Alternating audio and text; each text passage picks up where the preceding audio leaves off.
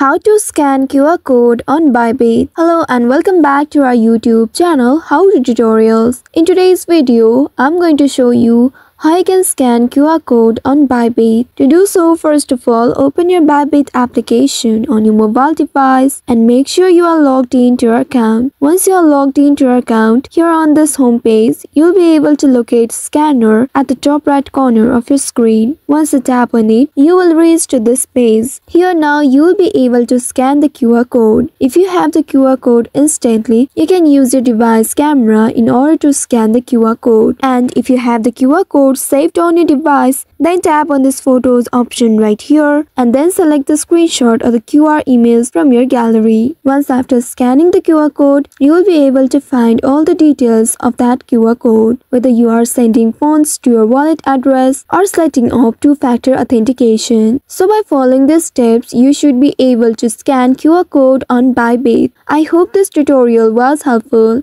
If yes, don't forget to like, share and subscribe to our channel. Also hit that bell icon to never miss any updates from us. Thank you for watching.